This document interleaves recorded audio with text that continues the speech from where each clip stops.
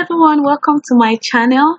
As you all know that Oracle has been given free online learning and certification for Oracle Cloud Infrastructure and Oracle Autonomous Database since Monday, March 30th. But throughout last week, we had some issues about registrations as slots were filled up.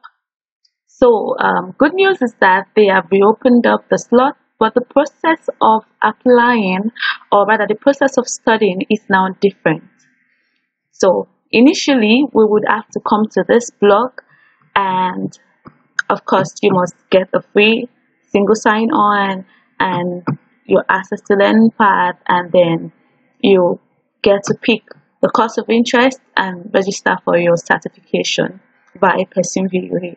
But now is a little different. Now you have to go to the Oracle Education website where you would see the free online learning and certification from Oracle University. And then you see start learning now by accessing free online training and certification exams. So the instructions you have, it's a lot different and there are quick tips as well. So what I'm just going to take you through is how you go through this new process.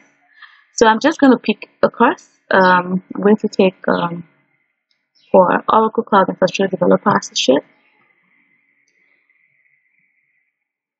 And so I'm going to be presented with this page. So this is the same page as to what we've been working with earlier. And you would now have to still click on Oracle Cloud Infrastructure Developer um, Associate. And you click on this.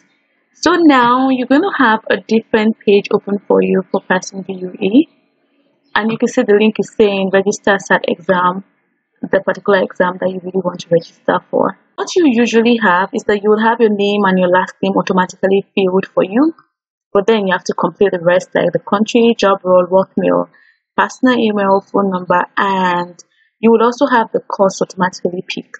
But just in case you don't have it that way, you can go through the drop down and pick the course of interest. I hope that you're able to get a free slot. And thank you so much for watching. Don't forget to subscribe to my channel and happy learning.